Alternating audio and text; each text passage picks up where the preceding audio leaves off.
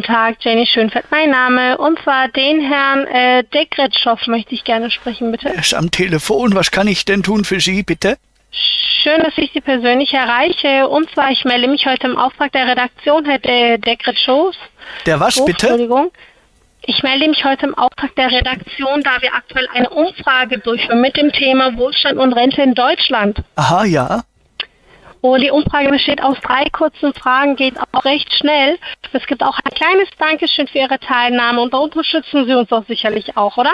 Ja, das, ich lieg mit dem kaputten Fuß daheim. Ich habe nicht allzu viel zu tun gerade. Da freue ich mich, ne? Da können wir Okay, das super. gerne machen. Was möchten ja, Sie denn gerne wissen? Aber ich höre Sie sehr, also sehr schlecht, als wäre als wär das jetzt von weit weg.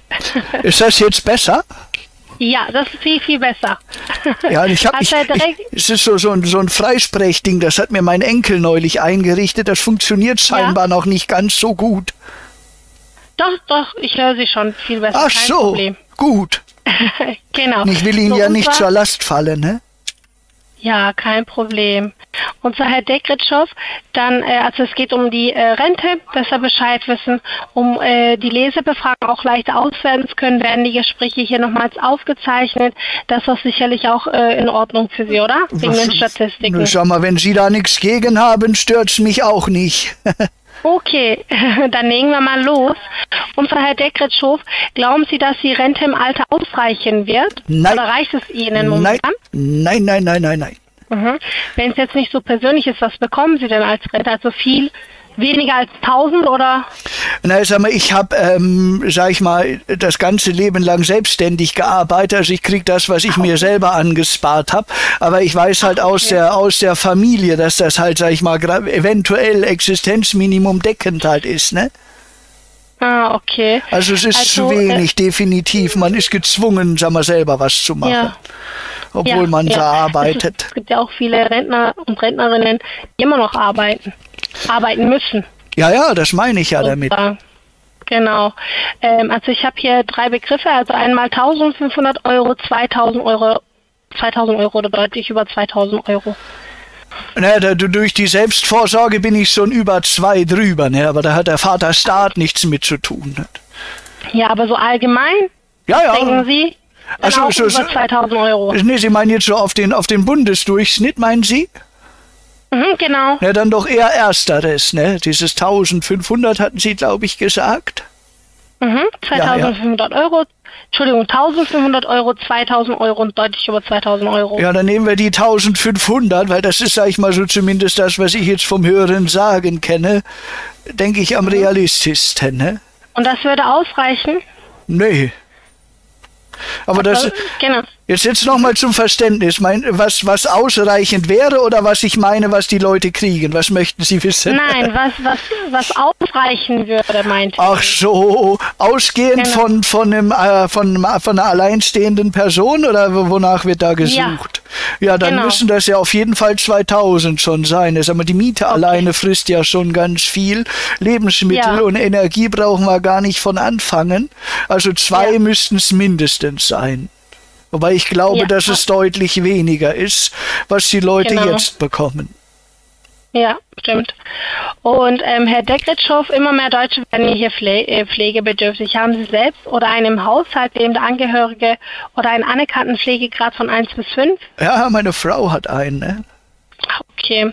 So, unser Herr Dekretschow, als Dankeschön für Ihre Teilnahme an der Umfrage schenkt Ihnen unser Umfragepartner ADM Medienpress Hamburg GmbH ein kostenloses sechs Wochen so ein Schnupperleseprobe, damit Sie auch so ein bisschen schnuppern können und einen Urlaubsgutschein von Holiday Tours 24 in Höhe von 50 Euro, Oh. was Sie auch natürlich weiter verschenken können, den Gutschein. Ja. Und ich hoffe, Sie freuen sich auch darüber. Ja, danke schön. Super. Dann müsste ich noch mal ganz kurz einen Datenabgleich machen.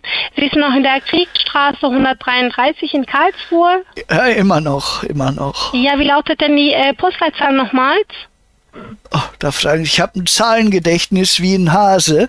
Ich muss gerade noch mal auf den Brief gucken. Okay. Wo habe ich das? Ich komme immer mit den letzten zwei Zahlen durcheinander. Das, das, Okay. das, das, das, das, das, das, das hat neulich dafür, da hatte ich Klar. Schuhe bestellt für meine Frau und die Ja. sind doch tatsächlich dann, weil ich habe, wir haben hier einmal, ich bin ja in, in Karlsruhe Mühlburg, ne? Und wir, da gibt's auch Mhm. in der Innenstadt gibt's auch noch mal die Kriegsstraße, die hat aber eine andere Postleitzahl. Ah, okay. Also bei uns ist das 76185. Ich sollte mir das tätowieren lassen. 3,5 oder 8,5? Habe ich 35 gesagt, dann meinte ich 85. Nee, Sie haben 8,5 gesagt, deshalb. Ja, die meine ich ja auch. 185. Ach, okay. Jetzt habe ich den nochmal Ah, äh, Das- korrigiert. Kein Problem. immer diese Zahlen, das ist schrecklich. Glaube ich Ihnen. Da bin ich ja, da bin ich ja, bin ja Uhrmachermeister im Ruhestand. Ne? Ich habe das nie so mit Zahlen gehabt. Ne? Ich sehe immer Zahnrädchen und Schräubchen, aber wenn da die ganzen Zahlen dazukommen, das ist ein Trauma. Ja, verstehe ich. So, und zwar Herr Dekretschow, ähm, dann frage ich mal so, was lesen Sie denn aber gerne? Ja, etwas mit Nachrichten, mit Sport, mit Ach. Autos. Aber Nachrichten sind immer so traurig, ne? Am liebsten ja immer so was, was Natur und Wissenschaft, ne? Vielleicht haben Äh, Sie ja hab der, der Maulwurf am Morgen, das ist aber ein sehr beliebtes. Das habe ich nicht. Ich habe hier einmal die Wirtschaftswoche, also was wirtschaftlich.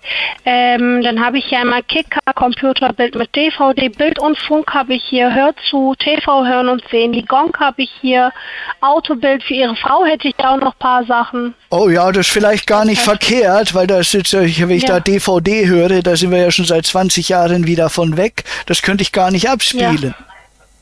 Okay, ähm, dann hätte ich hier, ähm, soll ich was Beliebteres sagen bei den Frauen? Haben Sie Frauen denn, haben Sie das Meerschweinchen-Magazin? Nein, so ein Magazin haben wir nicht. Schade. Also ich habe hier einmal Frau mit Herz, Brigitte habe ich hier für Sie, Freundin, die aktuelle, Frau im Spiegel, das Goldene Blatt, Echo der Frau, Frau aktuell und Super Review. hab Also mein, mein Freund Kai Uwe sagte neulich, er hätte so gern das goldene Blatt gehabt. Dann nehmen wir jetzt Okay. das, weil ich glaube, das, was Sie da aufgezählt haben, das hat meine Frau alles schon da liegen. Ja, okay, das goldene Blatt habe ich hier. So, und zwar Herr Dekretschow, dann mache ich mal weiter und zwar damit auch alles seine Richtigkeit hat. Fasse ich nochmal alles zusammen und zeichne das Gespräch nochmal kurz auf. Damit waren Sie auch einverstanden, sagen Sie. Aha, ja, ja, immer noch, ne? Ja, immer noch. genau. Und bei Oh, der Gesundheit, Sie hören sich krank an. Ja, ich bin sehr erkältet. Also ich Aber was machen Sie denn dann bei der Arbeit? Ja, ich muss arbeiten. Na, dann müssen Sie zum Doktor gehen, wenn Sie krank sind. War, war ich auch. Ich war schon äh, eine Woche krank gemeldet. Oha, Ja, aber jetzt muss ich nochmal weitermachen. das ist nicht gut. Ja, leider. Ja, Aber mir geht's schon besser. Es war schlimmer. na, das ist schön. Da- Dann will ich gar nicht wissen, wie, wie es Ihnen da gegangen ist. Nee, nee, nee. Dann bin ich Ja, froh, dass Sie wieder gesund sind. Ja, danke schön. Gut. Und Sie sind auch geboren am 16.09.1944. Das stimmt auch, ja? Ja, ja, das ändert sich ja nicht im Lauf des Lebens. Oh, Ne? ja. so, unser Herr Dekretschow, bitte bei der Aufzeichnung mir nochmals ganz gut zuhören, Ja, weil das bekommen Sie, das bekommen Sie als äh, Brief natürlich nochmals. Und Gut. ganz zum Schluss, wenn ich Ihnen auf Wiederhören Tschüss sage bei der Aufzeichnung, sagen Sie mir nochmal Tschüss. Dann stoppe ich die Aufzeichnung, bleibe aber immer noch dran. Also dann lege ich nicht auf. Ja? Und da werde ich Ihnen nochmal die Postleitzahl und den Ortsteil nochmal fragen. Also wenn Sie die, äh, das Brief nehmen können, ja. ja, soll auf der Seite bleiben. Ja, ja, ich, das ist gut, dass Sie das sagen. Ne? Dann kann ich das nochmal vorbereiten. Genau, deshalb. Ja. ist gut, dass Sie mitdenken. Davon bräuchten wir mehr Ja, Menschen gerne. im Land. Immer wieder gerne, sonst müssen Sie nochmal schnell äh, holen und dann nochmal. Soll ja nicht in. Stress ausarten. Genau, ja, ich möchte Sie auch nicht in Stress äh, hier jetzt mitnehmen. dass das in Ruhe, dass wir das in Ruhe machen können. Ja, So, sind Sie bereit? bitte? Sind Sie auch bereit? Natürlich. Super, weil da werde ich auch nochmal ähm, die Telefonnummer Ihnen fragen, ob Sie meine Telefonnummer sehen. Können Ja. Sie die sehen? Die. Nee. Wie, wie soll ich denn Ihre Telefonnummer sehen? Ach, können Sie die nicht sehen? Okay, das werde wie ich auch denn? nochmal fragen. wie soll ich das, Das denn machen? Okay, kein Problem. Ich werde das bei der Aufzeichnung Ihnen nochmals fragen. Dann sagen Sie mir einfach nein. Dann werde ich die Nummer Ihnen sagen, ja? Und das bekommen Sie dann aber auch postalisch. Das habe ich jetzt nicht verstanden, was das damit auf sich hat. Ob Sie, ob Sie halt meine Telefonnummer sehen, das ist ja auch wichtig. Warum ist das? Ich, ich, hab, ich kann das ja gar nicht. Gar nicht sehen hier physisch. Wie, wie soll das gehen? Okay, kein Problem. Ich werde das nur halt so fragen bei der Aufzeichnung. Wenn Sie Nein sagen, dann sage ich die Telefonnummer, weil die Telefonnummer ist ja auch wichtig, wenn Sie ein paar Fragen haben und uns ja auch zurück anrufen möchten. Des- Ja, na gut. Deshalb. So, dann fange ich mal an. Ja, Zu Ihrer und unserer Sicherheit wird das Gespräch aufgezeichnet. Wenn Sie damit einverstanden sind, seien Sie doch bitte so nett und bestätigen dies mit einem deutlichen Ja. ich bestätige. Mit einem deutlichen Ja, bitte. Ja, bitte. Lieber Herr Dekretschow, können Sie auf dem Display Ihres Telefons die Nummer erkennen, unter welche ich Sie anrufe? Nee, das habe ich doch schon gesagt. Ich habe sowas gar Okay, nicht. kein Problem.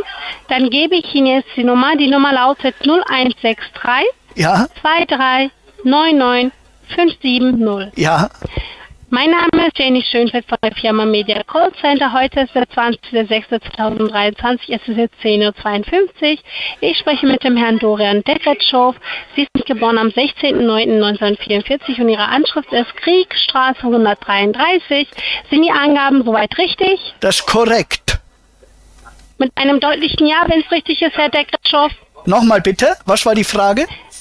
Wenn, wenn die Angaben richtig sind, mit einem deutlichen Ja bitte. Ja, Können Sie mir bitte zur Verifizierung einmal die Postleitzahl und den Ort nennen? oh, jetzt wird's spannend. Ja, das ist äh, Karlsruhe, Mühlburg heißt der Ortsteil. 76158. Nochmals bitte. Bitte? Nochmal die Postleitzahl bitte. Ja, 76185. Dankeschön.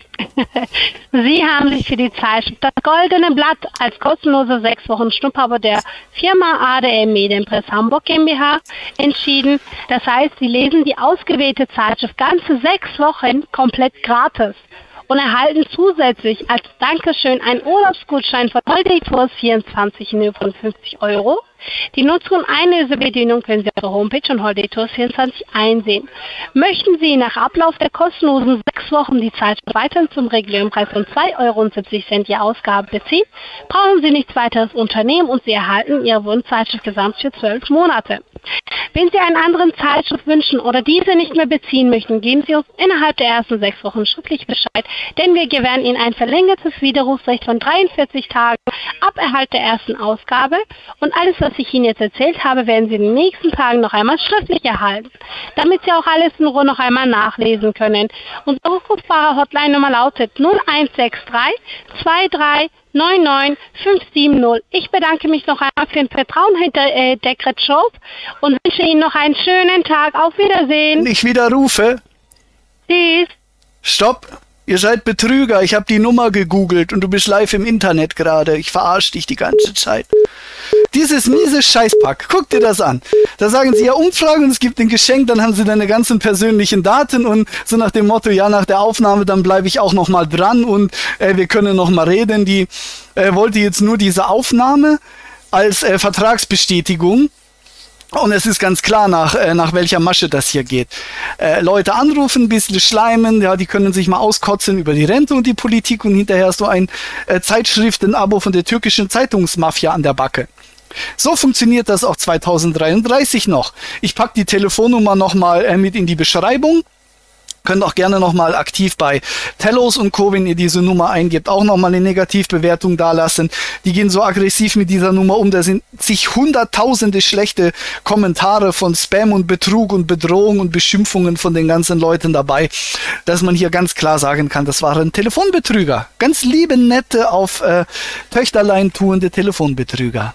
Danke, dass ihr dabei wart.